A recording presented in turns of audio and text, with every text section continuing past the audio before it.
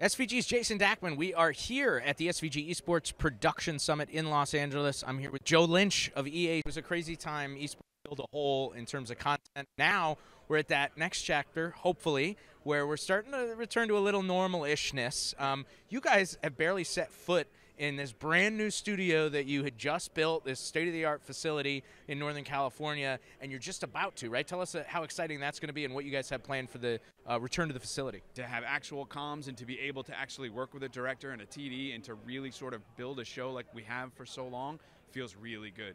We have a show coming up here this week. It's going to be our first time using our control room. No players, no audience, no nothing, but we actually get to use the control room for the first time. So I- am beyond excited. We would have liked to have been in a few months ago.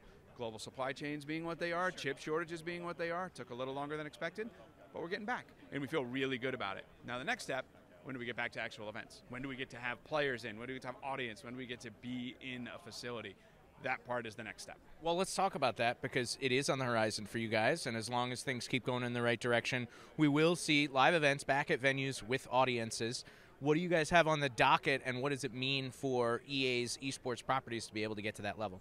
It's a really exciting time right now. So, starting hopefully, again, a lot can happen between now and then, but hopefully in January, we're going to have two events in London one for uh, FIFA and one for Apex. We're really excited about that.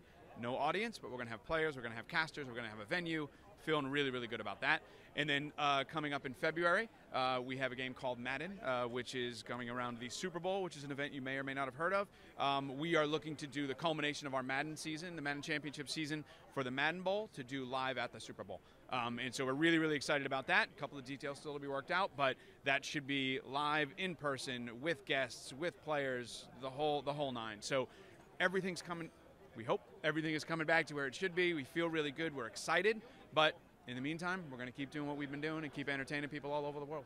Great, Joe. Well, first of all, thanks so much for all your help with the event. Thanks for all your contributions putting this event together. And thanks for giving us something to watch. We really appreciate it. From Madden to FIFA to Apex, you guys are, are killing it. So thanks again. We're having a good time, and thanks to you. Like, without you guys and putting all this together and getting us all in the same room and getting us all out here, we, we wouldn't be here. So thank you. Jason Dachman from the SVG Esports Production Summit.